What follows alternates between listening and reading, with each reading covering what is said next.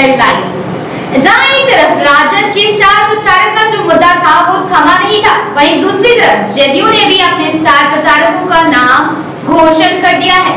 आपको बता दें कि स्टार प्रचारक की लिस्ट में सबसे पहले तो मुख्यमंत्री नीतीश कुमार को रखा गया है, जिसके बाद बिहार के राष्ट्रीय अध्यक्ष ललन सिंह का नाम सामने आया है।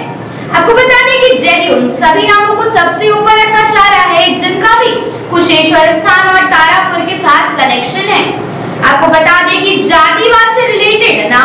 सबसे ऊपर रखा गया है।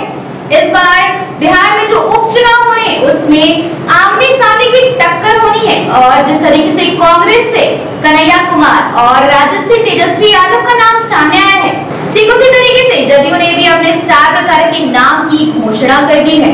अब ये तो देखने वाली बात होगी कि कौन सी पार्टी किस तरीके से अपना प्रचार प्रसार करती है, लेकिन ये जो कांटे की आमने सामने की टक्कर नज़र आ रही है ये तो इलेक्शन में देखने वाली बात होगी आपको बता दें कि जेडीयू ने तारापुर में अपने सबसे तेज तरार मंत्री अशोक चौधरी को स्टार प्रचारक बनाया है।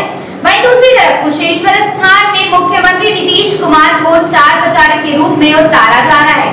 अब देखना ये होगा कि किस तरीके से लोग अपना प्रचार प्रसार करते हैं। लेकिन एक बात ये भी है कि जेडीयू का हमेशा से कुशेश्वर स्थान और तारापुर में स्पेशल सीट रहा है और जातीय समीकरण के मामले से वहाँ पर इलेक्शन होते आ रहे हैं।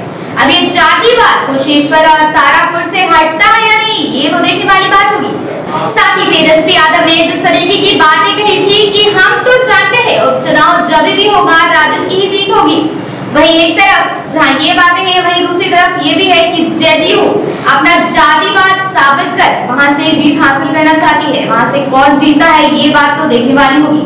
लेकिन तब तक के लिए आप देखते रहिए हमारा चैनल आपको अगर हमारा वीडियो पसंद आया हो तो उसे लाइक साथ ही अपने सुझाव कमेंट्स में ज़रूर दें धन्यवाद।